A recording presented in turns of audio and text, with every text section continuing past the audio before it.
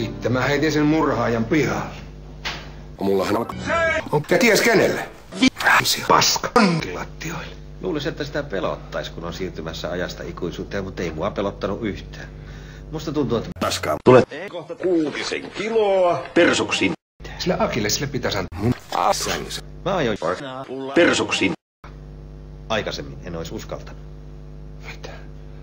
Kuka sitten hoitaa talkkarihomma? Ei taida olla enää mun päänsärköni. Vastaa mulle yhteen asiaan rehellisesti. Tuletko sinä minulle vaimoksi? Ai kuka? No kenestä äsken oli puhe? Seppo Taalasmaa. Mä en ota raiskaajalta mitään vastaan. Ja miksi sä oot niin ihmeen kiinnostunut Ossin seksi kivääriästä? Siitä on myyntiilmoitus netissä. Katos nyt tätäkin kaunotarta. Mitäs, mitäs? Että mun piti taivaan portilla asti käydä ennen kuin sen tajusin. Aivan. Turha syyttää muita, jos ei tee itse mitään.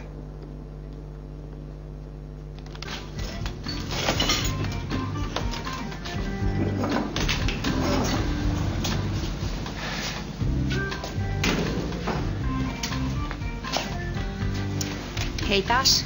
No niin, vaan yksi. Se He mä ihan oikeasti haluaisi jutella sun kanssa sun kokemuksista. Ja nimettömänä, jos sä haluat. Mitä jos mä haluan?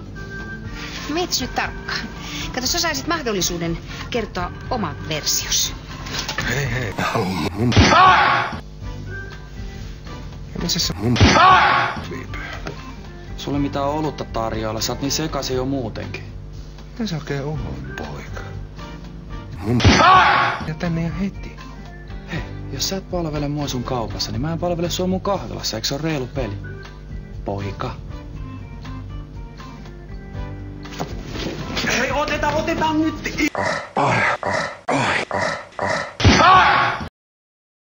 Oi, oi, oi. Huh.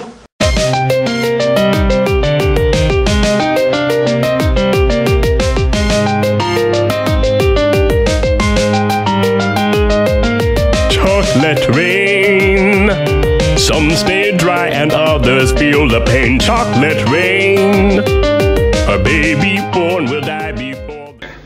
Odotas vähän, mulla on sulle asiaa. Ai sä haluat pyytää anteeksi, saat jos nuolet mun kengät. Hei, Aki, älä nyt jää siihen turhaan. Enkä Sä olit ollut mua kohtaan koko päivän niin innoittava. Saisikos pusuun?